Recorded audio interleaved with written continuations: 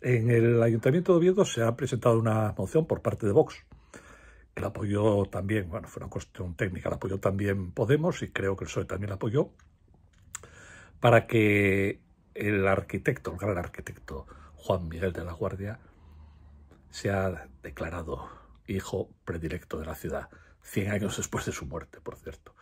La iniciativa viene de lejos, viene del grupo Los Franciscanos, que es un, grupo de... Yo estoy ahí, es un grupo de ciudadanos realmente plural. Empezamos 7-8 y ahí hay de todo, desde el punto de vista ideológico. Bueno, sobre todo nos une el, amor a Oviedo, al campo y además que somos amigos desde siempre, ¿no? Eh, así que no tiene ningún sesgo de ningún tipo. Se recogieron firmas que ha firmado todo el mundo, los exalcaldes, el rector y exrectores, eh, bueno, todo el mundo, asociaciones, profesionales, de vecinos, gente a título individual.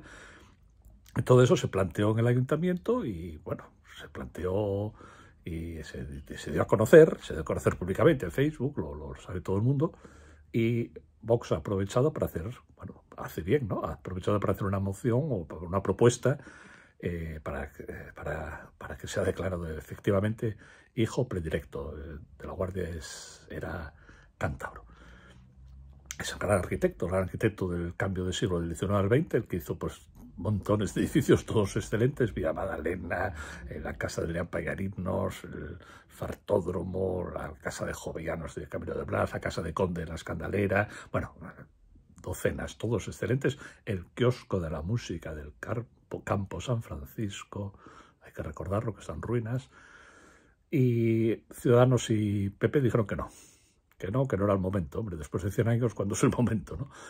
Dijeron que no, pues yo creo que porque no presentaron ellos esa moción y porque, por eso, porque, porque sabe Cantelli y qué sabe Cuesta, qué saben de Oviedo, no saben nada ni, lo saben, ni saben nada de Oviedo, ni tienen carica Oviedo. Entonces, pues, no, estos, de Vox, estos, estos franciscanos, tanta la lata todo el día, nada, nada, nada, nada. Fuera, fuera. No es el momento. Así que estamos gobernados por eso, por gente ajena a la ciudad, sin ninguna sensibilidad, sin ningún conocimiento, y, que toman las decisiones, pues eso, por capricho, por, revanchas, porque les da rabia que lo presente otro, otro, otro partido, en fin, esas cosas. Lamentable. Oviedo está en manos de gente que no merece estar ahí, pero bueno, han sido votados. A ver si la gente espabila por la próxima vez.